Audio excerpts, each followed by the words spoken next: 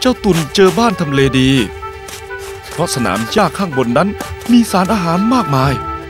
อาหารของเจ้าตุนก็จะมีมากมายด้วยเช่นกัน ใต้ดินนั้นมืดจนไม่ต้องใช้ตามอง เจ้าตุนแทบตาบอด จึงต้องใช้ประสาทส่วนอื่นแทน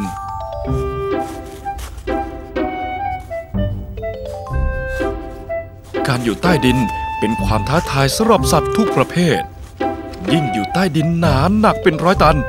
แม้แต่เรื่องง่ายๆ อย่างหายใจหรือหาอาหารก็เป็นเรื่องที่ลำบากมากๆ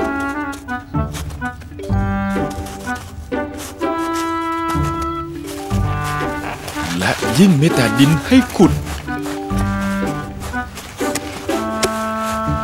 การจะอยู่ที่ใต้ดินให้รอดได้ เจ้าตุ่นต้องสร้างเครือข่ายอุโมงค์ที่ดี เพื่อให้การเดินทางและหาอาหารนั้นง่ายยิ่งขึ้น